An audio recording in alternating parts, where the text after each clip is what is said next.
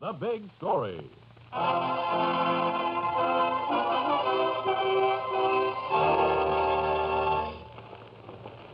Hey, Stanley. Stanley, just a second. How about a statement before they lock you up? Okay. I'll tell you the whole truth, but you won't print it. I'm guilty. I'm guilty because I'm nobody. I'm guilty because somebody wanted to get somewhere, and in order to get there, he put his feet right in my face, stepped on me, sent me up for life to get where he wants to get. I'd like to see you print that. Freedom of the press.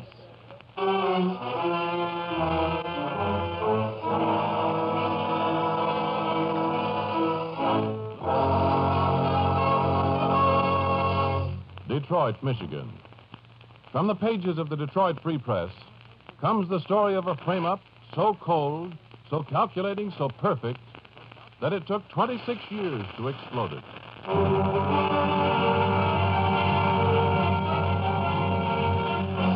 Detroit, Michigan. The story as it actually happened. Ralph Goll's story as he lived it.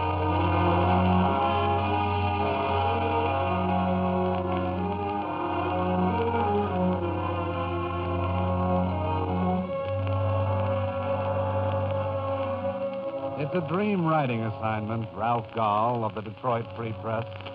A six month job of digging into the unsolved crimes of Michigan, and you've written a dozen beauties. The riddle of the blue icicle. That one called a special coroner's inquest into being. The case of the severed hand. This one brought a well deserved promotion to a cop on the beat. And the others, all good, honest stories. And with the public clamoring for more, you kept digging in.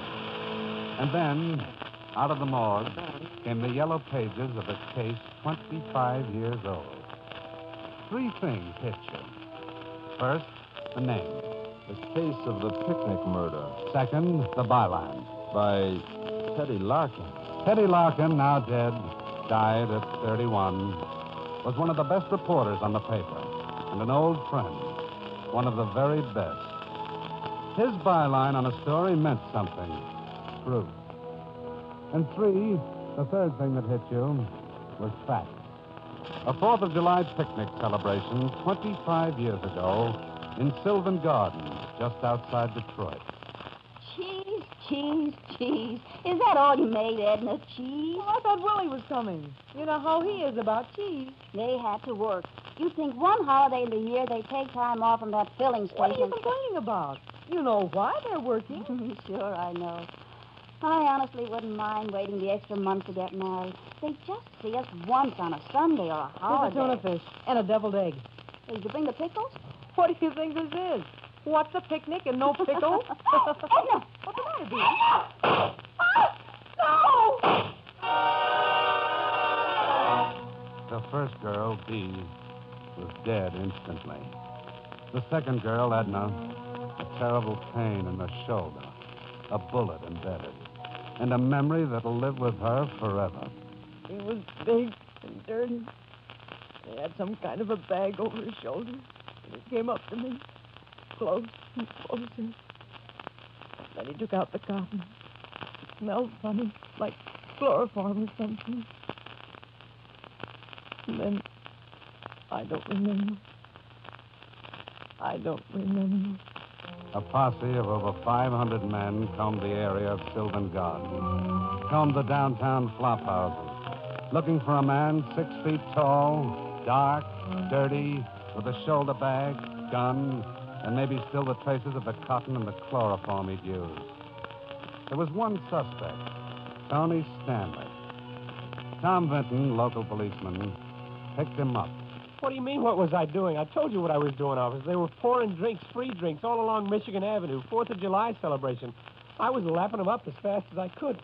But what's the matter? There's no crime. Let's go, Stanley. I don't want to hear any more. You can ask any one of the bartenders, officer. I was in 8, 10, 12 joints. Ask them. Oh, they wouldn't remember. You got mud on your shoes, mud from Sylvan Gardens where you were tramping around before you did it. And you got blood on your lapel. How'd you get blood on your lapel? I came out of one of the bars the back way into the yard there. I, was, I, I didn't know where I was going. It was dark and muddy, and I, I fell. There was a can there, an old sardine can. I, I fell on it. I cut myself. Maybe I wiped it off on my lapel. I don't know, officer. Where's the shoulder bag? What'd you do with the gun, and where's the chloroform? Come on, now, you freak. Walk. So you cut your finger on a sardine can, huh? Did you have iodine handy? The rest was equally bizarre, equally fantastic, terrifying. Then the identification by the frightened girl. Get him out. Please get him out. He's the one. He did it. Get him out.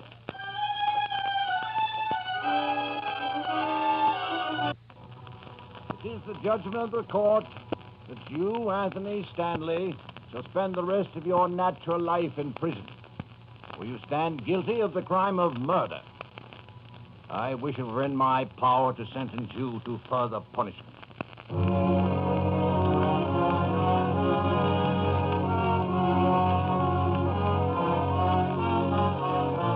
And the fourth fact about this case, the fourth unusual aspect, struck you, Ralph Goll, feature writer, as you read the yellowed sheets. You said it to night editor Fred Sandler. Remember this case, Sandler? Yeah, vaguely, vaguely. Why? They never disproved this sardine can theory about the blood. Lots of things not proved in lots of cases. So? The girl didn't testify at the trial. So they took her deposition somewhere else. They never found the shoulder bag, or the gun, or the cotton, or the chloroform. So what? So what? How old is this chestnut, anyhow? Twenty years?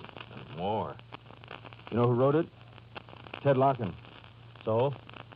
Who filed this story where it's filed now? What are you talking about? I mean, what's an open and shut murder case doing in the file of unsolved crimes? Who put it there? Was it misfiled, or was it? And if you read this story, he never put it down in so many words, but in every line, in every sentence almost. Ted Larkin implied, watch out, frame up. Well, maybe he'd been on this stuff too long. Not Larkin. He was quite a guy, you know that. He wouldn't imply frame up unless he meant frame up. Do you remember what Larkin used to say about the guys in stir? Used to quote a piece of poetry, Walt Whitman, remember? I am one with these convicts and felons. What about that? Maybe it's good poetry, Ralphie, but it don't make a story. And if I prove that oh, it if, does. if, if, if, if. You print a paper with this.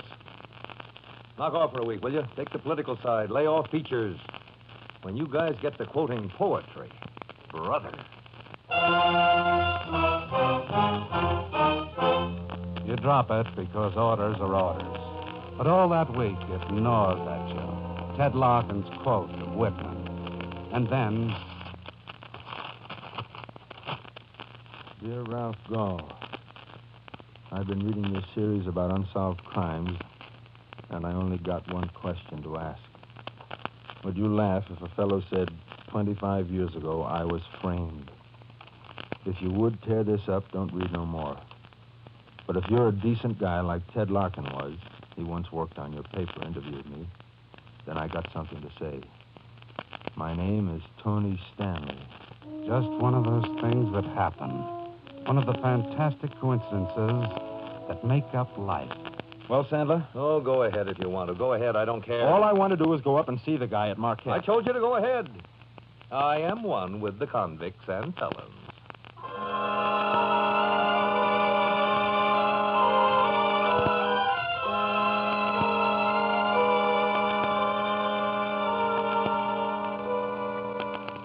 First, I thought I'd grow azaleas, hyacinths, maybe some of them little zinnias, but nothing grows up here. nothing. Bad soil. I'd like to talk about your letter, Mr. Stanley. Sometimes morning glories grow, some six, seven feet high. You like them? Yeah, yeah, they're nice. Mr. Carl, when a guy gets somebody to believe in him just a little bit, he don't want it to be over with right away. I had this experience ten times, maybe. Somebody gets a little bit interested. You, you learn not to talk about it all at once, because it'll bust right out of you and disappear, maybe, if you do it. You understand? Sure. Who cares about a broken down bum on Skid Row?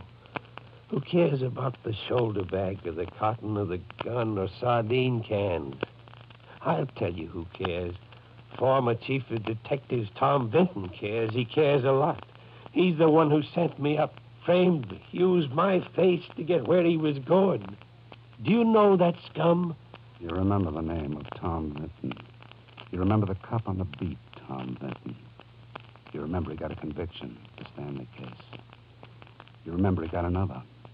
Sergeant Vinton by now. And another and another. Skid Row bums, nameless people. He became lieutenant of detectives. The big roundup of Michigan Avenue dives, and then chief of detectives, Thomas J. Vinton. Then, Vinton got sent up for framing two guys. Caught at it, right? That scum. He's right in this jail now. He was behind it. He did the whole thing. Is that it, Vinton? The only thing I ever smile about now, the only thing, is that I know where that scum is. He's sitting in there, across the yard, see? Right in there. Solitary. For the rest of his natural life.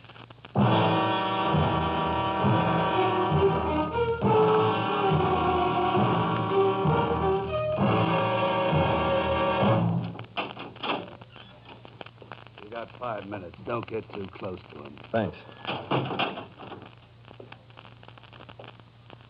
Vinton, I told him no visitors. Who? What's that?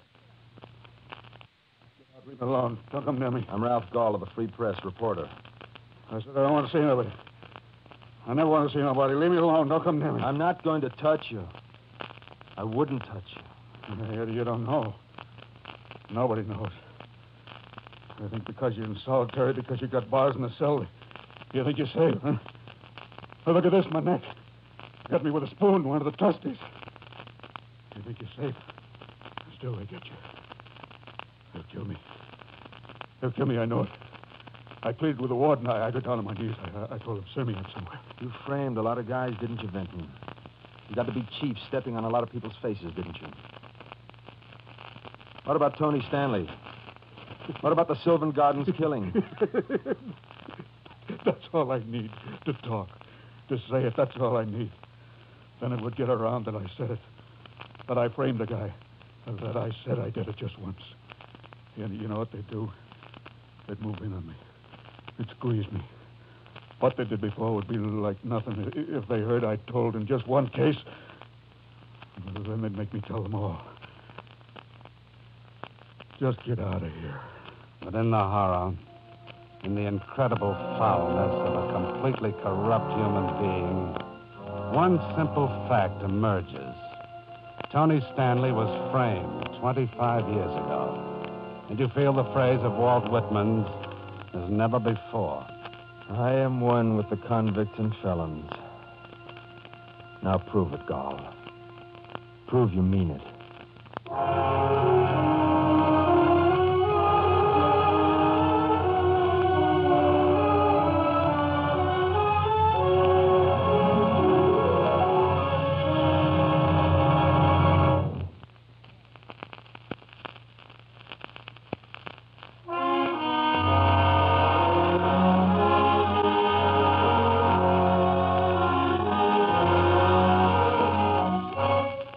Harris, returning it to your narrator, and the big story of Ralph Goll, as he lived it and wrote it. You, Ralph Goll, feature writer for the Detroit Free Press, ponder the biggest question you've had in your reporter's life. How to reopen a case 25 years dead. You begin at Detroit Police Headquarters. The mugging shots, routine pictures taken. The history of the criminal, the psychologist's report, all yellowed, frayed. All very unsubstantial bits of paper. Hey, Sarge, look at this. No previous arrest, no previous record. Not even a minor narcotics rap. Nothing. Look, one of the nicest murderers I ever met never made a single wrong move, not even one, till the day he blew up his family, killed his wife and six kids. Oh, you're informed today. Here's what I don't get. No bag was ever found. No gun. The girl testified the murderer was six feet tall. Stanley's no better than five six, maybe five seven. And listen to this part of the psychologist's report. Criminal tendencies dubious. It adds up. Psychologists. Brother, you go on up to Marquette someday. Give some of them intelligence tests and stuff to the guys in cell block T. They'll knock over most of them professors anytime. Don't tell me you believe that stuff. Where do you go to find corroboration on a 25 year old crime? Where? Skid Row, the Michigan Avenue dives? Who would remember? Well, maybe somebody would. The old guy who's been selling papers for 37 years at the corner. He remembers. Uh, Stanley? Ain't he the guy who went over to Africa, found that other guy? Remember Mr. Stanley, Dr. Livingstone? What'd he do now? Get himself lost? The mission of the Friendly Heart. As old as Detroit's waterfront almost, with characters that go at the place, and there for decades. But the organist doesn't remember, and the guy who passes the plate around doesn't remember, or the man who stands up and speaks of the brotherhood of derelicts. But one does. Incredibly, one does. One who steps off from the platform, gets his bowl of soup, and talks. Yeah. Yeah, him and me like the same thing. Flowers. Saddest little guy in the whole world. Framed neat like a picture. Framed, strung up on a wall. Saddest little guy in the world. How do I know? I know. Prove it? Prove that a dead guy is dead. He's dead, that's all.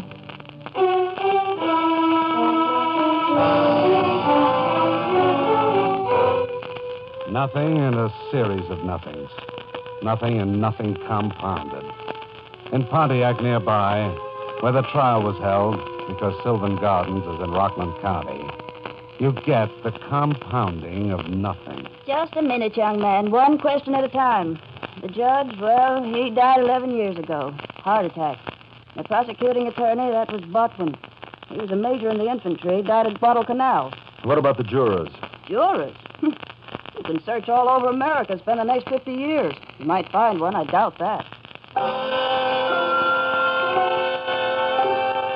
But miraculously, in only six months, you actually find one. Juror number seven. You say I served? Well, maybe I served. Guess you did. So long ago. Uh, Stanley. Funny, can't remember a thing. You send a man up for the rest of his life, can't remember a thing. Oh, oh, wasn't there a sheriff? There was something about a sheriff. Something. Don't remember what.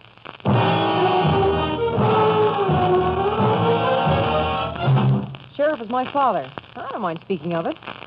He said I was there at the time he died. He said Tony Stanley never had a chance. Your father, I mean, I he. don't mind if you say it. He took his own life. I think he did it because of what he was made to do about Tony Stanley. He said just before he died, that poor little guy never had a chance. Framed from the word go. Tom Vinton's work.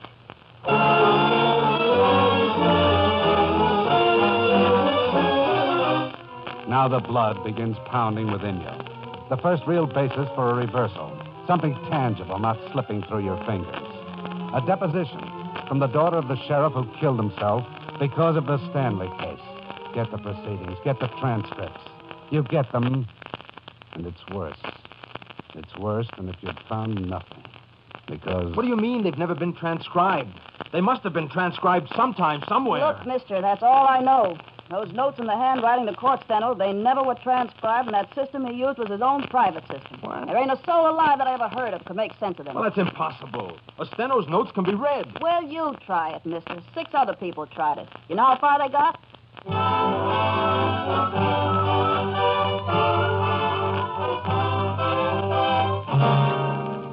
I have studied the notes, Mr. Goll, and they can be transcribed.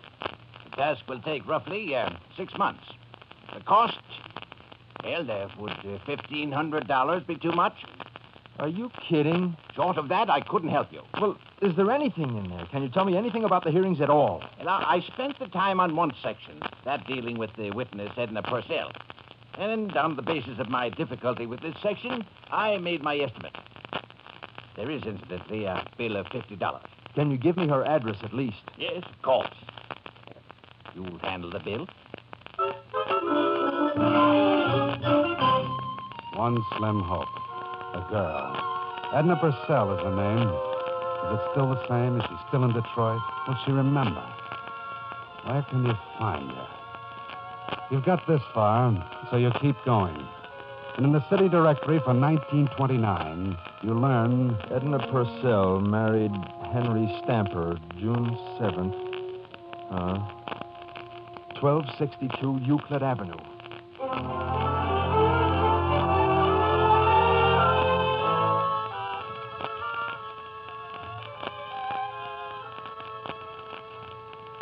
Do you want to repeat that, please, Mr. Goll? I just want to know, Mrs. Stamper, if you can remember anything at all about an incident 26 years ago, the 4th of July. Mr. Goll, I started teaching school about, oh, 20 years ago. And one of the teachers at the school was very kind to me. He was a slightly older man, very understanding. Mr. Stamper. We went around together seven years before he asked me to marry him. I never told him anything. I can't. I never talked about it to anyone. And then Ellen was born. She's getting out of college this month. And Jimmy and Donna. I've got my children, my husband, this house. I do the usual things that a woman does. And I paint a little. What did you want me to say? What do you want, Mr. Goll? You're here, Ralph Goll. It's the moment and the place. But you don't ask. You don't pursue the line you've been pursuing for over a year. Why? Because here is the girl herself. Now a woman. The horror is behind her. A life has been built, a structure, a family. Can you upset all this by bringing up the past now? You must ask yourself whether the innocence of one man is more urgent than the lives of five people. It's okay, Mrs. Stamper. It's not important. Not that important. Mr. Goll, who's important? Which one of us? Which one of us is or isn't? Oh, don't think I don't appreciate that you didn't ask me. But I want to talk. All these years I've wondered. Did I lend myself in a moment of hysteria to the frame up of an innocent man? Did I identify the wrong man? And I think now I did. If you'll just let me get my coat and leave a note for Mr. Stamper, I'll be right with you.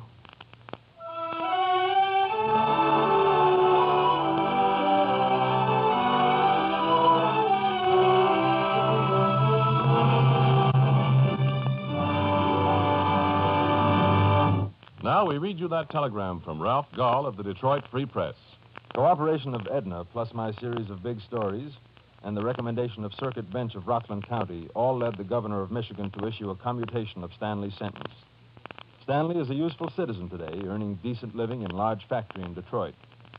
Tom Vinton, although never directly connected with crime of framing Stanley, will surely die a prisoner in Marquette Prison.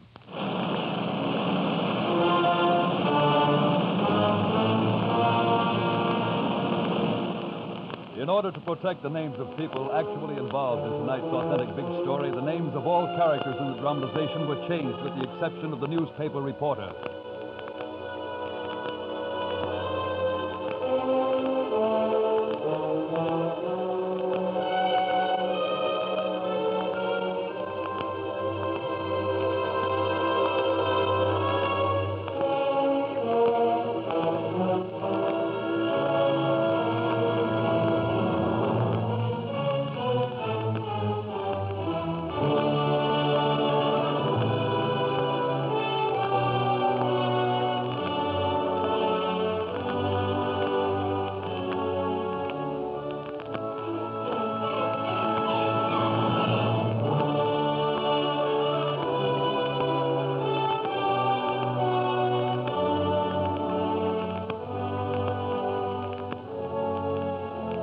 This is the United States Armed Forces Radio Service, the voice of information and education.